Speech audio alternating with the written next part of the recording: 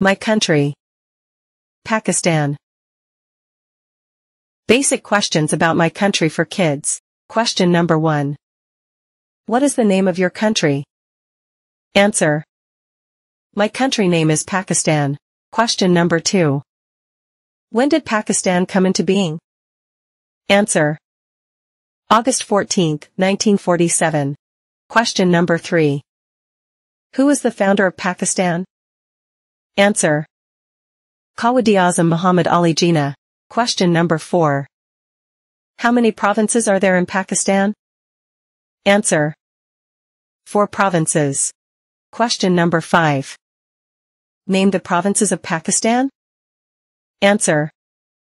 Punjab, Sindh, Balochistan, Khyber Pakhtunkhwa, KPK. Question number 6.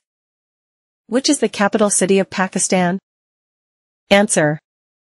Islamabad is the capital city of Pakistan. Question number 7. Which is the largest city of Pakistan? Answer.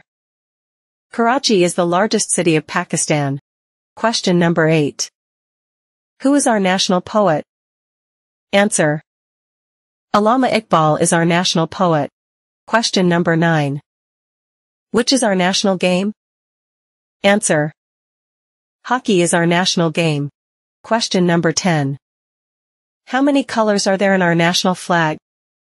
Answer. Two colors are there in our national flag. Question number 11.